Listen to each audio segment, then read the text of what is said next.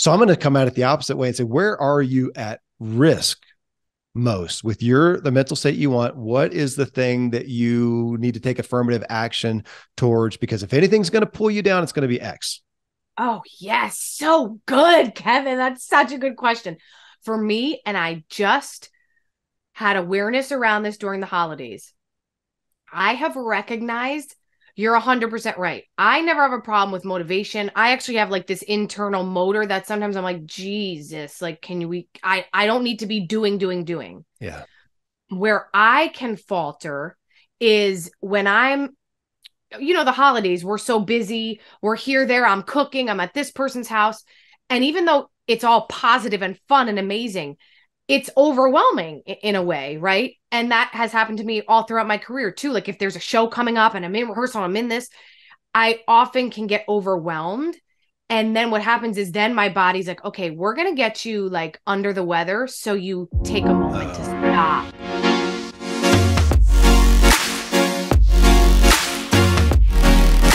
All right, Renee. Well, we're going to get behind the scenes with you now. I like that. You know that behind the scenes, off stage. this part, is uh, the yeah, part. the good. This is the I was going to say the green room. I guess not. This is like behind the curtain, right? Yeah, this is the real stuff. All right. Well, we're going to walk down through these, and uh, you know, it's been fun getting to know you in a lot of these. I've got a little context, uh, but uh, some I don't know. So this will be a good uh, a good time to get to know each other better. Spiritual. Tell me about that aspect of your life. Now, I know you came, you said you came a, a Italian American family growing Yeah. up in New Jersey. And it's interesting that maybe I'm swayed by the stuff I've seen on screen, but I Yeah. look at it as spirituality, it's it's interconnected to everything there. So tell me about that area of your life, the values and what you do to practice those. Well, I grew up as as you said in a close-knit Italian American family and from kindergarten through 8th grade I attended a Catholic school. So at that time I was going to church and um really listening to those to those Catholic values and now as as I've grown and traveled the world and been exposed to so many different cultures and beliefs, I really consider myself more of a spiritual being. I believe in God. I pray every day um i meditate so i study transcendental meditation which has been absolutely incredible. I learned it my husband and i when we lived in los angeles and i just i love it. I love it so much. Um so my spirituality is so so important to me. I mean it really is when i think of habits or how i start my day spirituality is number one first and foremost. It's interesting, transcendental meditation. Most people have heard that term. It's come to light for me because a few months ago, I had Melody Beattie on the show, the renowned author of Codependent No More that is just revised. But what stuck out, she's uh, 74 or something, if I can remember that. And she says, Oh my gosh, I've just gotten into, or it was, it was pretty recently, yeah transcendental meditation. She said, changed my life. And I'm thinking, okay, if one of the authors of self help themselves has now Yeah. just gotten into this and says it changed her life, I need to check it out because it is one of the greater struggles. If I look at my overall health and wellness, one of the things that I have had multiple providers say I need to do is spend some more time meditating, not just quiet and solitude. I do that well, but oh, Yeah, actual yeah. meditating, man, I don't want to go there. It's so difficult to just be and not do. Tell me. I know it, my friend. I'm my mind's always going a million miles an hour, thinking all the thoughts. But what what has been eye-opening for me is when I first started meditating. I mean, I've I've meditated for years and years. I believed, like many of you, that meditation is like quieting your mind of any and all thoughts, not thinking about anything. And it's like, No. oh no. How the not thinking about anything. It's just it, it drug me. Exactly. I'm like, I'm like, this is not humanly possible, or at least Yeah. for me. But once I studied transcendental meditation, um, my you know the amazing practitioners who taught me, and they helped me to understand that it's not quieting your mind, but it's bearing witness to the thoughts and really sitting sitting back a little bit to be like, wow, look at that crazy thing I just thought. Oh, there I go again, judging myself. It's been such a a, a mind shift for me. So I really Hmm. enjoy it because the pressure's off. And to tell you a little bit more about me, I lived most of my life as a perfectionist from the time I was a little girl and then being a professional performer just do it again, do it again, perfect. It has to be right. So I, I lived a lot of my life in that space. So to have the permission to just be and not have to think something perfectly or and just bear witness was like, oh man, this feels good. I've not heard that. I mean, I know that terminology, bear witness, but not in terms of meditating, bearing witness to the thoughts of that's what you said, not just quieting the mind. Yeah. That's interesting. That mm-hmm. that feels more relatable than yeah, the concept of just don't yeah. think of anything. I just focus on your heartbeat and I just to not be distracted. That's almost like I need a focal point to yes. do it. Okay. I'm like, okay. you tell me to just listen to my heartbeat, that's causing me anxiety. No so he's, he's doing the opposite. no doubt. And I can't, nothing's that quiet. I can still hear a fly fart somewhere yes. and it's going to distract me.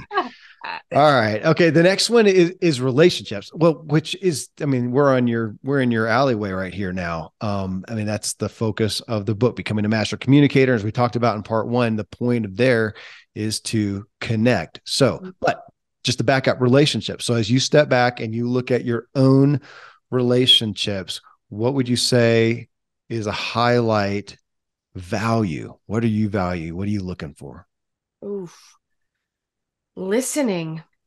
That mm. component that that I stressed a lot in in our first interview being a complete listener and surrounding myself with those who are complete listeners because I really believe listening is also a lost art, but it's also a two way gift.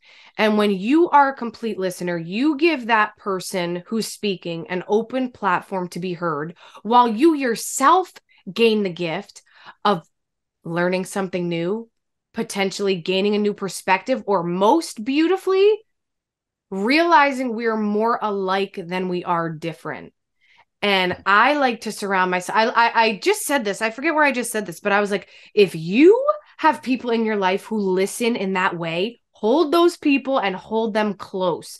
Because again, it's not about perfection it's about connection it's not that in my relationships we're always going to get along perfectly but you better believe if we're not getting along we're going to have the wherewithal to listen to each other and then communicate about it and get back on track. So, being a complete listener, surrounding myself with those good people, and also, second case in point, my relationships are not just the ones that I've been brought up around, my family, but my chosen family. My chosen family is so precious to me because those are the ones I got to handpick, right? The ones who I got to say, wow, I'm bringing you into my life because you you and I connect on such a level that we must be a part of each other's lives. That's interesting. I tease some of my kids. So I've got, you know, biological kids and I've got adopted ones and I mm-hmm. tease the biological ones. Yeah, we didn't really pick you guys. We didn't know what yeah. we were getting. The adopted yeah. ones, we actually wanted them. Yes. So, yeah, the chosen chosen. So what does that look like though on a you know weekly basis or, or whatnot as far as we talked about in the first show too to have these connection points mm. takes more than just the convenient yes. communications. It takes deeper. So it's an investment. So how does that look like for you? I'll give you a great example. So my dear friend kendra and i she uh she's like beautiful soul sister. We met in los angeles she actually was one of my first makeup artists out there. And I tell you, Kevin, when we first met, it was like instant. She's doing my makeup within like 10 minutes. We were like, I love you. I love you. Mm. Like you're a soul sister. From then on, and that, that was probably like 2014 we became great friends. So now she's in LA, I'm here in New Jersey, but I have my uh, email list, you know, my beautiful community. I send my emails out every Monday, and she is like always the person to respond right back. I'm so proud of you. And we'll we'll have a convenient interaction, but there's always it, it happens naturally. There's always a period where, okay, enough with the digital communication. This happened last week. I said, Kendra, I shot her a text message uh, and actually didn't even text her. I voice memoed her. I said, Kendra, Happy New Year. I love you. Let's book a time to have a call. Like, I need to hear from you. And that's what it is, Kevin. It's just really thinking of it like you think of anything else in your life that matters. You create a habit around it. And for me, my friendships, my relationships, it's about creating those habits of connection. Uh, it's not always successful, right? Sometimes you're like, we've gone way too long. But just like anything, if you have the awareness that, oh, you've been lacking a bit in that area, that's when it's a sure sign for me to say, okay, let's book a time, either hop on a Zoom, pick up the phone, or if we can meet for lunch, let's do it. Okay, so I'm curious around the aspect of listening, being a complete listener. Okay, so this is your area of expertise. You train and teach this, yeah. and of course, work to practice what you preach in your own life. So you know that. So if we're going to be in a relationship, I know that you're thinking about that with me. I know that you're thinking about that when you're with somebody else about being a listener. But now when we get to the more intimate, uh, long-standing relationships in your life. And I'm honestly thinking about again. I just had Nedra Glover Tawwab on the show as a therapist. Yeah. Her first big book was on boundaries. It was set boundaries, find peace. Is there, or do you take space sometimes to say, "Hey, whoever this is, I care about you enough that if we are going to relate, I need this from you. I could maybe use some more listening from you. Tell me about that if that takes place.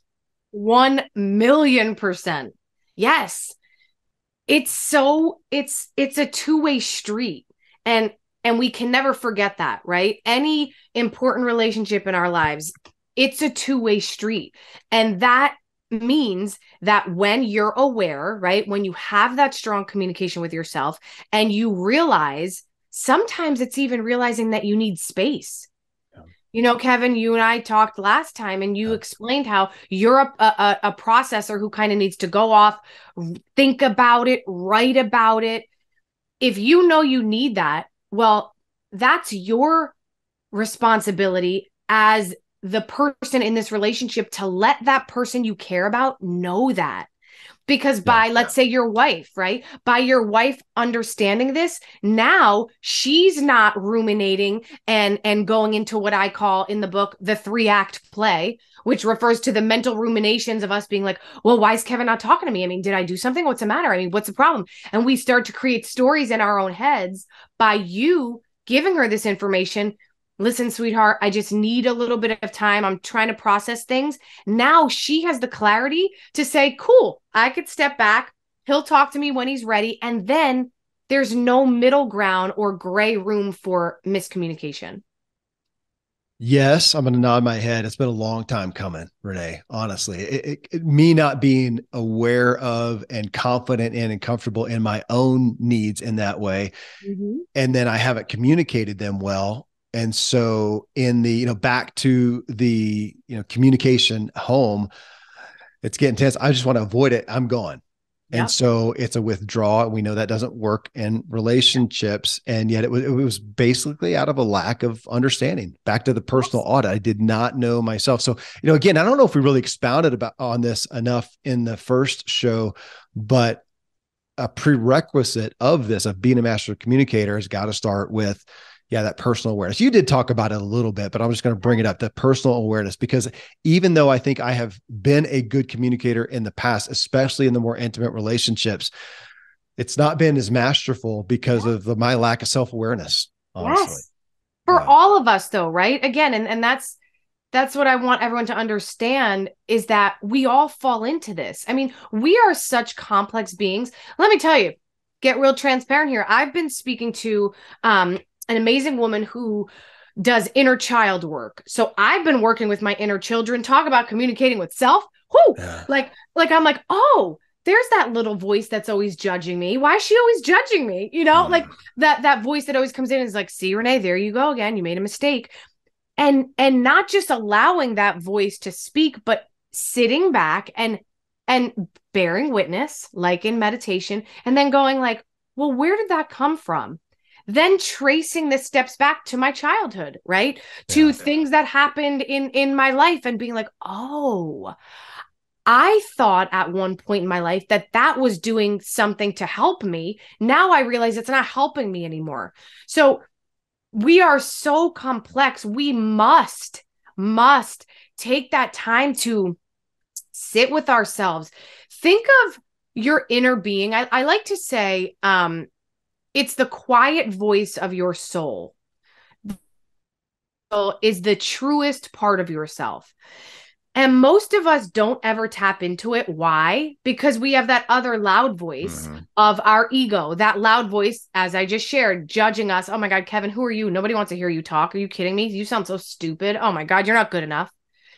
That loud voice, which is not the truest part of ourself, it's so loud that it often drowns out that quiet, confident voice that's always there for us you may call it your intuition. You may mm. call it your gut instincts. Whatever you refer to it, it's that truest part of you that's always guiding you in the right direction. But if you can't hear it, how could you listen to it? And that's why training ourselves, getting into a habit of practicing communication with self allows that loud voice to quiet a little bit more. So then you can be in tune to that quiet voice. It's like the the story I shared with you about how I spoke up for myself um, for the Jersey Boys role, the movie role. Right.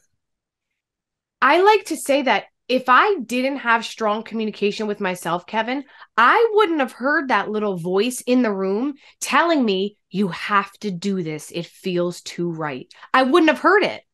And so often, I know this because so many other times in my life, I didn't hear that voice and we all fall into this trap where then we go down a path where we're like oh my god how did i get here now i'm fighting with my husband or i'm fighting with with my wife because we didn't have that that um moment of sitting back and taking the time to hear that voice within yeah, it makes me think of just the reaction versus responding. And yeah. to respond well, I've got to take a moment. I got to be aware of the present, which is just not our propensity, especially if it's an intense situation, an intimate, vulnerable. Yeah. We could do another show just on the inner child work. Maybe we'll follow up with that. Yes, yes, yes. Health and wellness is the next one. And, you know, I've had some other performers on the show. It's an interesting one for me because you're kind of paid for how you not so much how you feel but how you look at least oh I yeah mean, is, is, a big part of it and, and I, I am going to be i'm going to poke a little bit in this you're professional on stage. I mean, that's been most of your life on stage and and a dancer as well. Mm.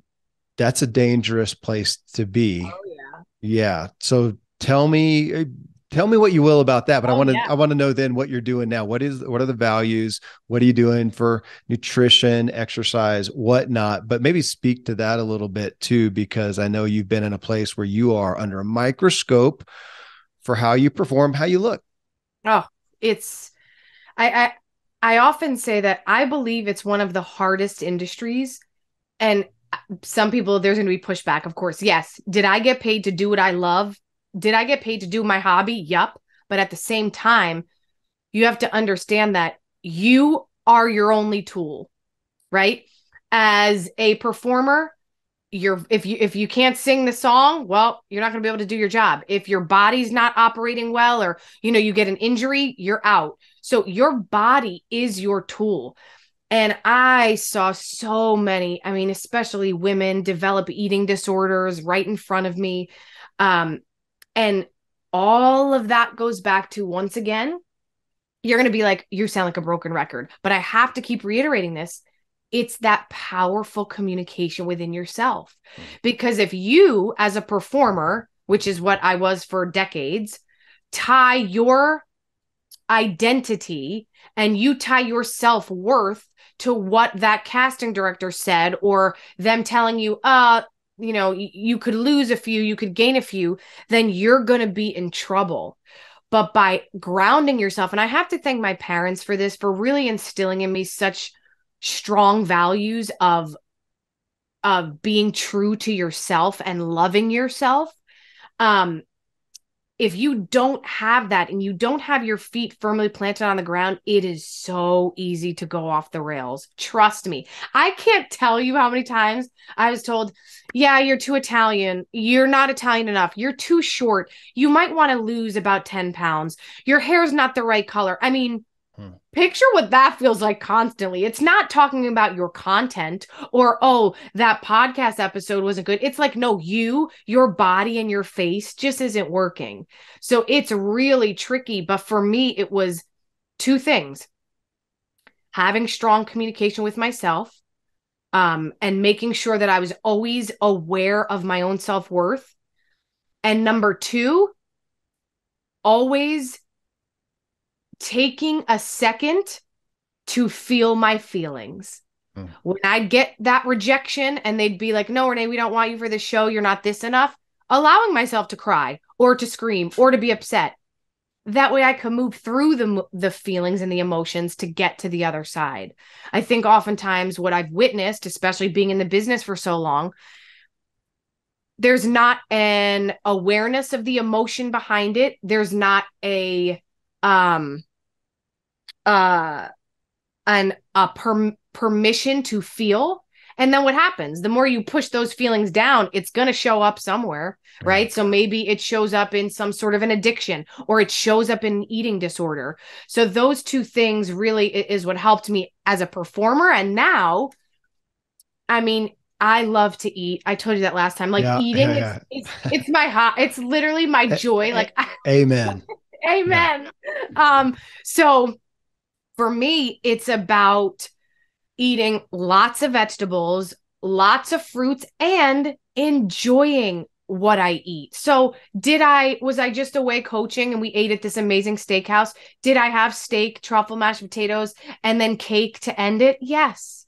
And a glass of wine, right? But it's about just keeping it in in pers- in perspective, in balance. I always work out. Um, movement to me is medicine. And that became very apparent when I went from living a life of pure physicality, eight shows a week, up and down the subway stairs, dancing in heels, to then being a communication coach and sitting behind a computer. Yeah. I was like, oh, I don't feel right. yeah. So, there's there's not a lot of thin ex pro cyclists uh, yeah. either. Yeah, because you yeah. adopt those eating habits that you can afford back then and not yep. now. So when you were performing though, was that it? Still, you know, you ate pretty clean for the most part. Um, I'm not like you. Well, you get it, right? When you're like burning all those calories, you can get away with more. You can get yeah. away with it. You know, you're just kind of doing all, you know, you're like, I just got to get fuel. But now I have such uh more of an understanding of like yeah. food and medicine. So I I just um recently did um an amazing genetic test from Gary Brecka and it's basically you like swab your cheek mm-hmm. and it tests your five main pillar genes. And it shows you where you have some genetic breaks. We all do you know most yeah. of us have a genetic break or two.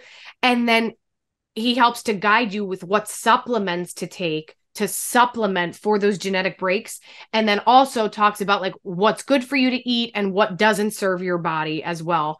Um but you know i just thought of this this morning which is so great we're talking about this. I woke up I did my meditation and then I journaled as I always do.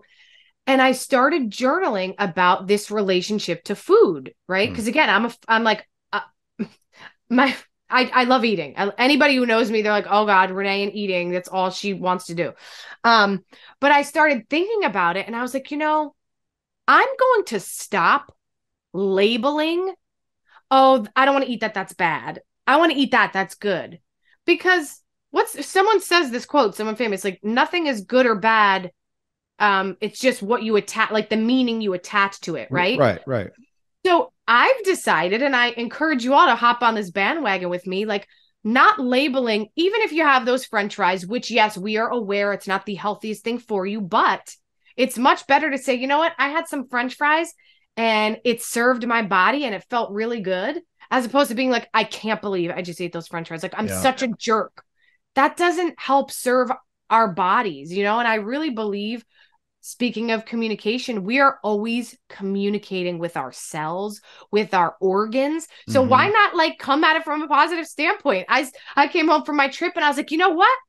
I had lots of cake, some wine, and it tasted so good and i'm yeah. so happy that i enjoyed those moments yeah it's great I, I my show i think it was just just um gosh it was this week that i talked with uh, Nedra Tawwab that I've talked about. And we were talking about this, I think, in this segment of the show.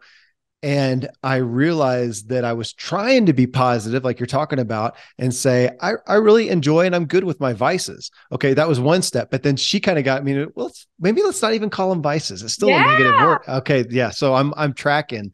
Yes. Uh, I'm tracking with you. Okay, on the on the uh it's it's, it's so funny we continue to uh, where I think we're kindred spirits here because food.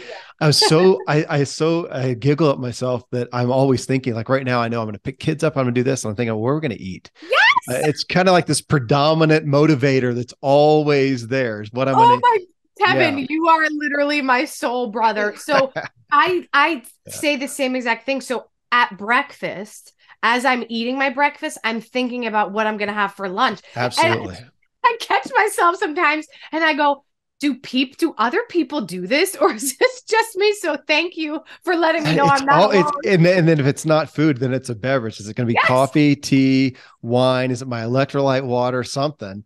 Yeah exactly. There, thank you. Yeah there you go. Okay on the i did want to ask on the exercise uh, standpoint yeah. i think it was on Instagram on your Instagram account seeing you doing kind of yoga type stuff or is yeah. that your what is your what is your primary exercise regime now? So, well, dancing is hmm. always number 1 for me. I mean, that's not I wouldn't say like that's just my my full 45 minute workout, but dancing must be incorporated into my day and I'm I'm not kidding you guys. I'm talking about even maybe right before I get in I jump in my cold shower, which I do every day. I'll even like get myself pumped up. I'll put on a song I love and like dance for a little bit before I jump in the cold shower. Awesome.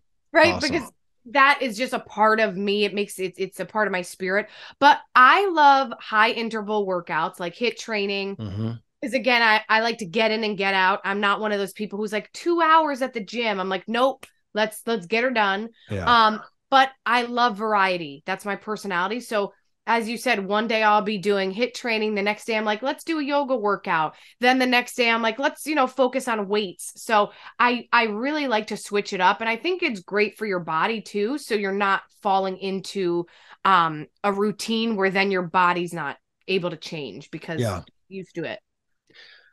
Mind is next. Mind, mental state, mental health. And I'm going to come at you at a different direction because I'm going to guess that you don't have, in general, a huge problem motivating yourself. You're pretty optimistic. Um, you know how to get yourself up. I mean, maybe you had to. I actually no, that's why. I mean, gosh, you had to. So no matter, I appreciate that from a performance standpoint. That when you're in a vocation that requires you to show up fully, you have to show up fully. So it doesn't matter what circumstance happened or to some degree, even what you felt, you're going to get on stage and you got to do it. And there's really not an option not to. So you know how to do that. So I'm going to come at it the opposite way and say, where are you at risk most with your the mental state you want what is the thing that you need to take affirmative action towards because if anything's going to pull you down it's going to be x Oh, yes. So good, Kevin. That's such a good question. For me, and I just had awareness around this during the holidays. I have recognized you're 100% right. I never have a problem with motivation. I actually have like this internal motor that sometimes I'm like, Jesus, like, can we? I, I don't need to be doing, doing, doing. Yeah. Where I can falter is when I'm you know, the holidays, we're so busy. We're here, there. I'm cooking. I'm at this person's house. And even though it's all positive and fun and amazing, it's overwhelming in a way, right? And that has happened to me all throughout my career too. Like if there's a show coming up and I'm in rehearsal, I'm in this, I often can get overwhelmed. And then what happens is then my body's like, okay, we're going to get you like under the weather. So you take a moment oh. to stop. Huh.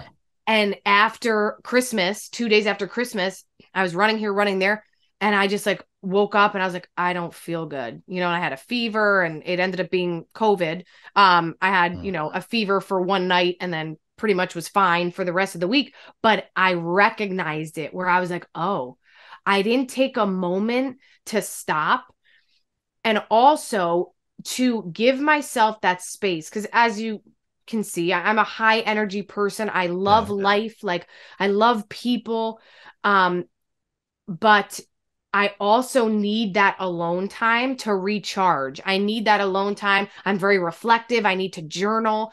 So if I'm not getting that time to recharge, that's when my body's like, okay, we're going to put you in bed for a couple days because you're not taking a break. Yeah.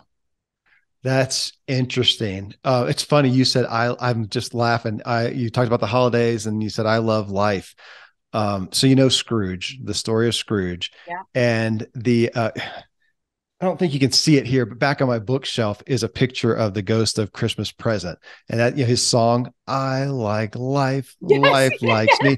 So I that that's that's me. And my kids got me this poster with the words, uh, and it's in a frame uh, back I there. and that. I like, and I see that in you. well, the other thing you talked about, and you mentioned it. Well, we talked about uh, transcendental meditation. So that's another thing that I'm going to assume that in being as high energy as you do, you see the need to sometimes not yes. and come back and be still.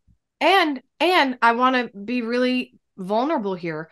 I am okay. So I'm doing all this inner child work. It's blowing my mind. I love it and we're also um, i've also learned about human design so it, it's amazing kevin you got to look into it it's based on your birth date your time of birth where you were born and it basically shows you what your design is as a human and it has been so eye-opening for me because i think myself like many of you I often question myself, right? I mean, I, am a reflective person. I'll be like, why do I do this thing? Or why is this challenging for me?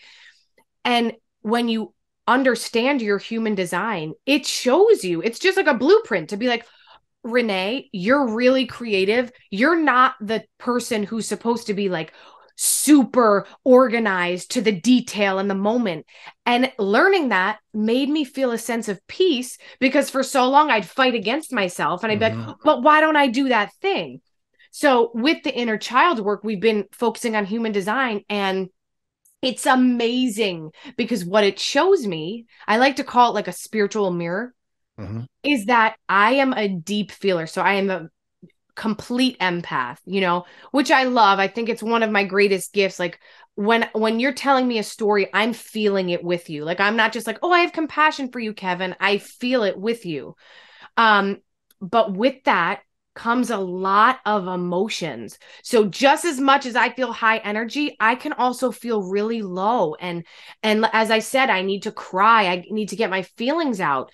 And that's part of my human design. It's literally like she shows me. She's like, "See this line here? This is the channel of emotion." So right. you are meant to feel. She's like, "You are meant to feel like the highs of uh, highs of life and the lows. And that's what makes life worth living right? Um but too often we label the low moments bad. Mm-hmm. just like food right? Oh i shouldn't feel sad or down. Well why? There's a lot of things in life that cause sadness and for you to feel down. But as long as you're not judging them and you're allowing yourself to feel it to move through it that could be your greatest gift right? And that's how we mm-hmm. create um you know, magic from the circumstances we find ourselves in or the emotions we feel. So that's just been really incredible. But I just wanted to be clear like, I'm not like, oh, I'm just happy all the time. No.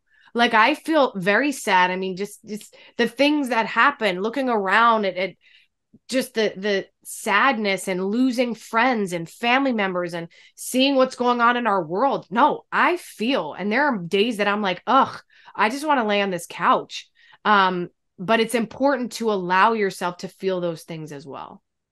Yes. Thank you for repeating what my therapist is telling me because, yes. you're right that, you know, we can feel the highs, but, uh, man, the lows I have not Ooh. given credit to the power of those. So that's my therapist literal dictate, sit in it, feel it, sit, sit in, in, it. it. Yes.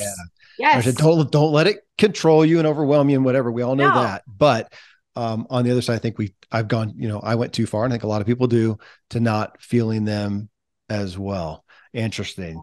Um, work, career, business is next. And in part one, where we talked I brought out what I really appreciate in you that here you are on this trajectory of Broadway and then the big screen and movies and whatnot. And then you say, I'm ready to activate some other gifts. Or as we talked about, transfer some skills, yeah. you know, to, to a different, uh, a j- different thing. So yeah, you find yourself now, and it's been a relatively short period of time, hasn't yeah. it? To where this life on stage and now you are eh, different skill set, yep. different different vehicle, let's say. Different vehicle. So now you're looking at it and where would you say okay, right now you're looking at your career, you're looking at your uh, vocation and say what is my what is your value right now? Mm. My value is oof. I mean, this isn't a one word value, but it, I, I have to say it's to to share. And what you might ask, am I sharing? To share the magnificence of communication to help people to make it a priority in their lives so they can have the lives that they talk about wanting. Hmm. You know, hmm. I think I just I I always you know, I write it down, I look at it, I I speak on it, but creating a communication movement, right? Where people, it's like what we're talking about, Kevin, like where people won't be afraid to be like, yeah, I'm just feeling crappy today, so I'm going to sit in it. Like communicating that instead of just being like, I'm fine. I'm fine. I'm good. It's like, let's dig a little deeper how what do you mean when you say you're fine right like like making communication a priority that it's not just a byproduct of life which is i believe where we've been thus far in as a culture as a society oh yeah communication it's a byproduct like breathing. But no making it a priority just like we make other things in our lives priority right? Like i often say i coach a lot of companies universities organizations and i i talk about helping them to create genuine connections with their clients and teams through communication. And i talk about this this fact that we focus on the apps we have and we focus on you know the the tactical things in our businesses. And it's like wait let's rewind. Before we get to any of that stuff how are you communicating right? This is a fundamental element in our lives that we must bring to the forefront if we want everything else to work. I am going to, in referencing you. So the book's called, you know, Becoming a Master Communicator. You call yourself a communication, you know, coach. Oh, yeah. However, I, not however, in referencing you though, that is what I want to put it there. It's to connect though. It's not just communicating because yes. we can go have a a speech coach or a voice coach or yeah you know that you've done it so we see those and they're going to help you you know technically communicate but you're talking about the connection I mean, yes. the communication of connection which is a much mm. greater and deeper thing Look, I'm writing this down. Look, see, I love, I'm forever a student. I'm writing that because I love that you say that because that's what I've been.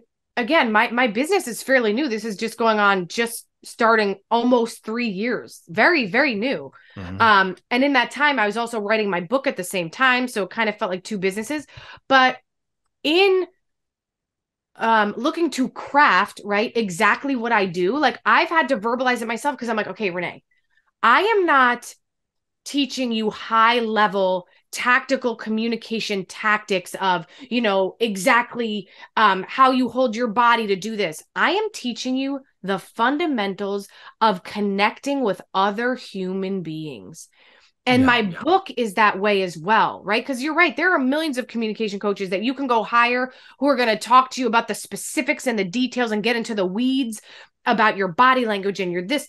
But I am on the side mm-hmm. of everyday practices and tools that you can use to connect with people on a genuine level because at the end of the day simon sinek simon sinek says it and i love this and I, I refer to it a lot we don't do business with companies we do business with people yeah. right i'm in the people business so thank you for saying that kevin because that's really beautifully put and i'm going to I'm going to use that. It's like I teach the communication of connection. Yeah. I, that is, I was just, I'm sitting oh, here typing as well and thinking, and that's not, not the communicating. So I think we tend to take that word and think communicating is telling. And yep. what you're continuing to teach us is, well, it, your primary premise is listening and, but it's a communicating to connect. None of us want to communicate and we don't want to be talked to. We don't want to be told. We want to connect and we miss that um, mm-hmm. Yeah, you're my master connector, queen connect. We're Oh, going to play with that. that. Connection, the connection queen. Um, it is. It's such a gift, Renee. Um, hey, the next one, money, finances, and Yes. wealth. When you look at that, uh, you know, you've always been in a, you've been in a career where, like you talked about, you have to show up. There's not really any room for excuses. You Nope. get paid by how you perform, by how you connect, how you communicate, how you come off. So, um, and I'm sure you've seen ups and downs in your financial finances as time has gone on. So, when you look at that now, what would you say? This is what I value for myself financially. Yeah. I look at money as this beautiful resource that allows me to help others in a bigger way.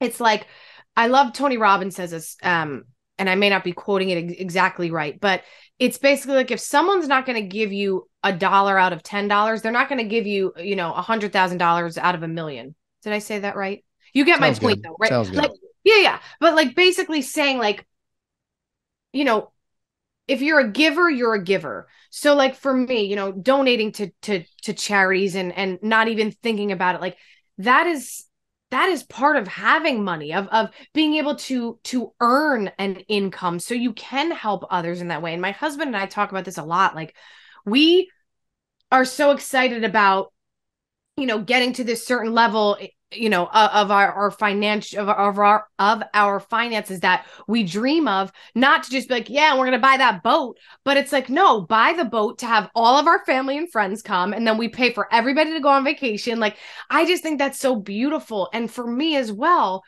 i'm not the type of person who's like obsessed with money. And like i look at it just like with the food right? Like oh my gosh, I can't spend a dollar. I want that coffee, but I'm not going to spend the dollar because I have to save.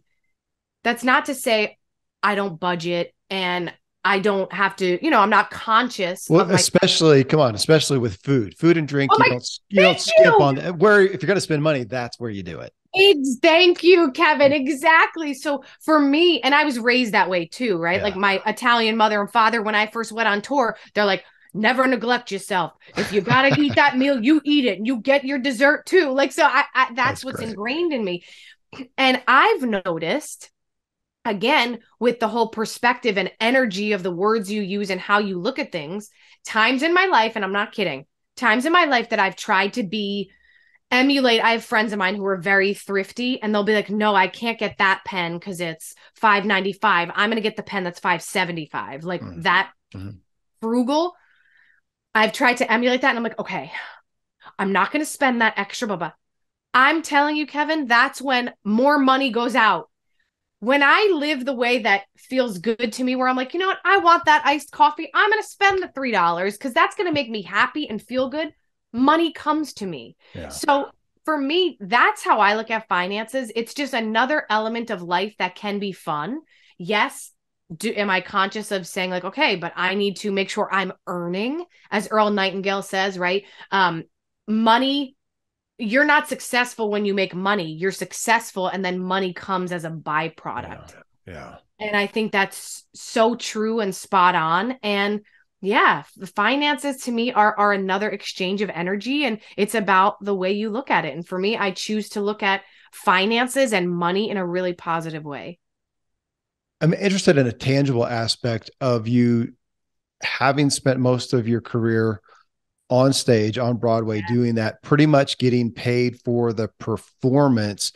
Is there a perspective that you're aware of now or going towards now where you'd like to make some residual income? Because I assume that there's not any there. That's you're paid while you're on stage. Maybe you're paid well, but when it ends, Yeah. it ends, it's over. That's kind of the mm-hmm. artist Oh, perspective financially anyways and now you're looking at something i mean right here i'm holding your you know your book that can sell Yeah. forever you can have you know you know the deal you can have courses you can have whatever you got speaking and stuff but you can have some money happening coming in residually long term without it just being so is that a significant shift for you Without a doubt. I mean, it's really interesting. Just since in these past few years, did did I really start understanding like what passive income is, right? Because Right. I I never had that. It's like I work and I get paid, and and even with that, I mean, talk about a, an unstable career. I could be on top of the world starring in a Broadway show. The show closes the next day. I'm looking for the next job. So yeah. that's what I mean. Like, even though, again, I, I look at money freely, I still was very smart to like save money while I was working. Right. But now, yes, honestly, passive income is is a big priority in my life right now. And that's, you know, in the development of my business and as a, as I'm growing in that aspect, having those those you know th- things that allow money to come in while i'm sleeping that's really important. And i think that's i think that's important for all of us right? Because the the world's changing things are getting more expensive.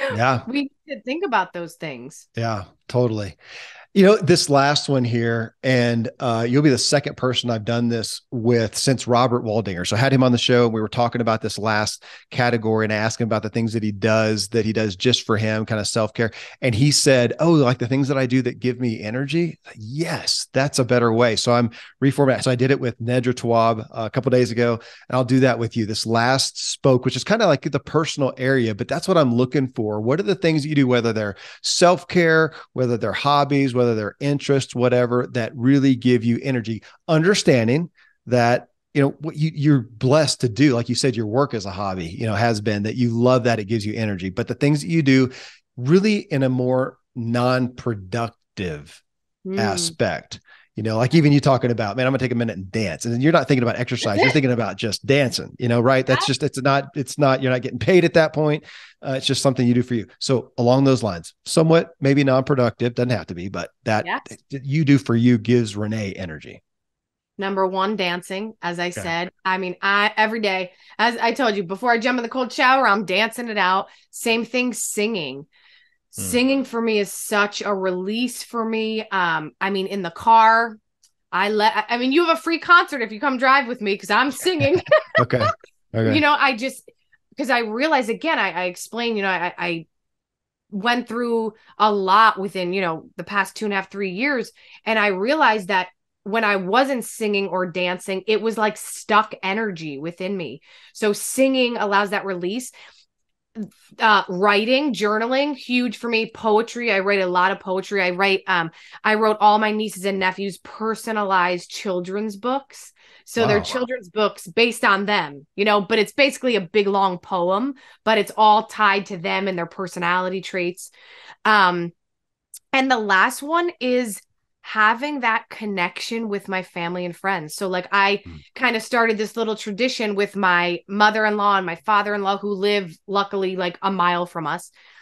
And one morning I was like, "Michael, to my husband, I was like, "Let's just go to to mama and papa's and like let's just go have coffee sunday morning and that's what we do we get up at like 7 30 on sunday we we go over there we have coffee talk we connect hmm. and it literally lights me up from the inside out. So when i say i don't say this lightly when i say being in person especially with the people i love or people who um uh are a reflection of what I want to be or who inspire me, when I'm around people like that physically, it is as if my spirit is lit up from the inside. So that's something I do for myself and it just makes me happy. We've also been going there to watch Yellowstone because we love that show.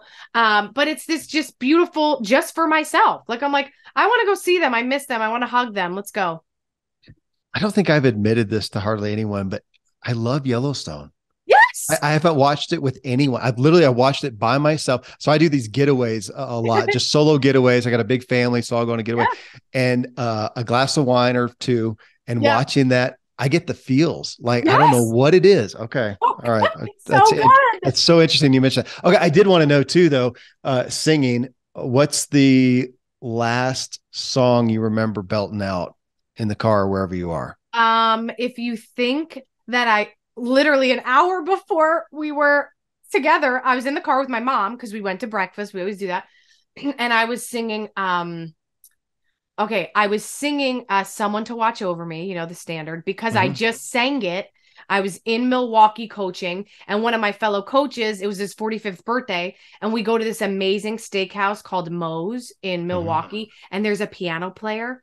So he was like, "Can you sing for my birthday?" and I sang someone to watch over me. So I sang it and I was singing it in the car because it was in my head. Give me a line.